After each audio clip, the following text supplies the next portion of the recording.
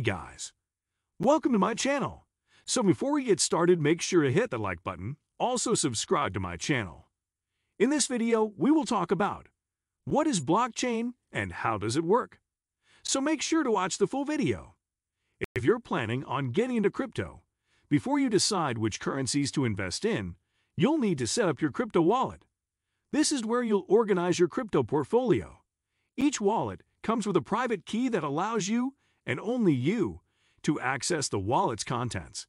But setting up your wallet isn't just about socking away any Bitcoin or Ethereum you may buy on an exchange. It also allows you to securely send and receive these and other types of cryptocurrencies. There are different types of crypto wallets available, including mobile apps and wallets that look like USB sticks, although there is some variation. Most function in a similar way by storing private key pairings that allow you to sync your wallet across multiple devices to send and receive cryptocurrency. You should definitely know how to use and set up a crypto wallet before you make your first cryptocurrency purchase. With that in mind, Let's take a closer look at how cryptocurrency wallets work and how to choose the best one for you. How do crypto wallets work? Broadly speaking, crypto wallets come in either software or hardware forms. Though each kind functions a bit differently, they are all designed to allow you to securely access any cryptocurrency you own. It's important to note that a crypto wallet does not hold any actual cryptocurrency. Instead, it holds the public and private key information needed to carry out crypto transactions.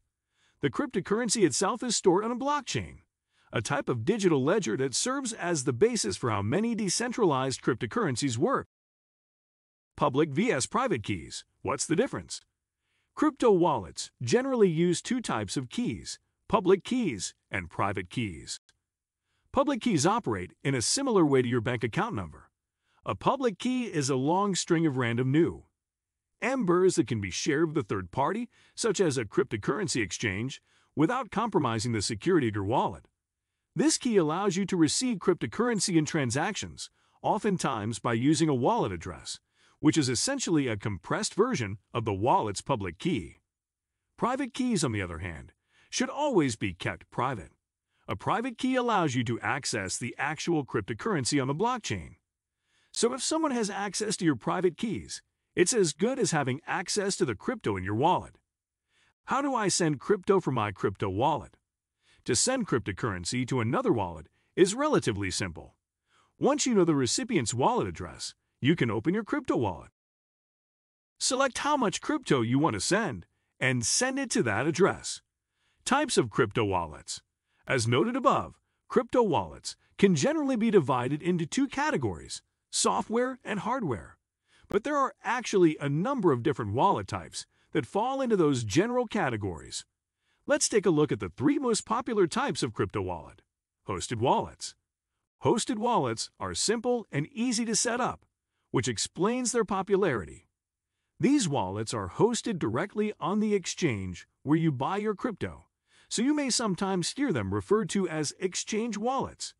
If you've ever bought cryptocurrency on an exchange like Coinbase or Kraken and kept that crypto on the exchange, you've already used a hosted wallet. With a hosted wallet, the crypto exchange typically holds onto your private key for you. This private information is kept and accessed online, which makes it potentially vulnerable to hackers. Hosted wallets may also be limited in their uses, and you may not be able to execute certain crypto transactions, such as buying an NFT with crypto that's in a hosted wallet. On the plus side, forgetting your password is usually not a problem, because the exchange has ways to help you retrieve that data. Non-custodial wallets. A non-custodial wallet allows you to have complete control over your crypto, with no third-party involvement. These software wallets generally offer more freedom and features than hosted wallets. For example, if you're interested in buying NFT or staking cryptos, a process in which your crypto supports a blockchain network and earns rewards for doing so. You may want to consider a non-custodial wallet. With a non-custodial wallet, your cryptocurrencies can be accessed using a private key that's in your control. Since you're the only one managing the private key, it's important to keep safe. If you forget or lose your key, you won't be able to access your cryptos. And if your key becomes known to someone else, the contents of your wallets may be in danger. Hardware wallets. Hardware wallets, also known as cold wallets or cold storage wallets, are physical devices. They tend to look similar to a USB stick. Your private key for accessing your cryptocurrency on a blockchain is stored on this device. Since a hardware wallet isn't connected to the internet and exists in physical form, it's considered by many to be the safest way to store cryptocurrency. A hacker halfway around the world has no way of accessing your crypto without this device in hand. There are a couple downsides to hardware wallets. For one, popular offerings from companies such as Ledger and Trezor can be quite expensive. And though losing your wallet isn't the end of the world, you will need a recovery seed to regain access to your crypto. Losing your recovery seed means you're pretty much out of luck. Which type of software wallet is best for me? There are several types of software crypto wallets that you can access on your computer or mobile devices. Which one is best for you depends on your personal situation. But here's a breakdown of some common types. Desktop wallets. Desktop wallets are apps that run on your computer and store cryptocurrencies. There is no third party involved, so you are responsible for the security. For this reason, you'll probably want to have antivirus software installed on any computer where you're using a desktop wallet. Mobile wallets. A mobile wallet is a crypto wallet app that lets you store and control your cryptos on your smartphone. Available on iOS and Android, these are convenient for face to face payments. Many mobile wallets also use QR codes, which can be scanned for quick transactions. Web wallets. This online based crypto wallet can be accessed via desktop or mobile, allowing you to store and send crypto from anywhere. However, since your passwords are kept on online servers, there's an increased risk of theft. How to set up a crypto wallet. To set up a crypto wallet, you'll need to enter your personal information and set up a security password. Similar to banking security, there is usually a two step verification process to go through to set up your cryptocurrency wallet.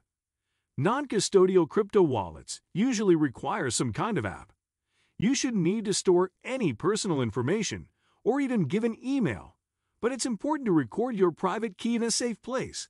If you lose or forget this key, you won't be able to access your cryptos. As mentioned above, the most popular hardware crypto wallets are produced by Ledger and Trezor. Though hardware wallets can be pricey, it's a good idea to only buy a hardware wallet from a verified seller and avoid the secondhand market altogether. After you've purchased the device, You'll need to download the software to accompany it from the official company website. How to choose the best crypto wallet. The best crypto wallet for you will depend on your level of experience and previous activity with cryptocurrencies. The main areas to consider include security. Traditional banking apps offer a range of security options to protect your money. Each crypto wallet will have slightly different security aspects, so you should check these carefully before putting your trust and money into them. Fees How transaction fees are charged can vary. They can be automatically set to make transactions quicker. But if you want to cut costs, some crypto wallets allow you to customize each fee. Just be aware that this can slow down transaction times. Cryptocurrencies Some crypto wallets offer a wide variety of cryptocurrencies, while others are more limited. Think about how often you might need to swap between currencies, as this will guide you on the level of capability you need. Customer support. Some companies offer 24 7 support as part of their service. Always review the level of support you get, as it can vary greatly in terms of response times and the type of queries they deal with. Access, where and when you trade cryptocurrencies, should guide you on which crypto wallet to use. If you are using a computer regularly, you might want to look at hardware and desktop wallets. For those who need to be more mobile, smartphone apps and browser based wallets might be more suitable. As with any banking service, finding the right crypto wallet for your needs is important, so take some time to find the one that works best for you. What do you think of our video? Let me know in the comment section below. If you enjoyed this video, make sure to hit that like button. Also subscribe to our channel before you go. Thank you for watching.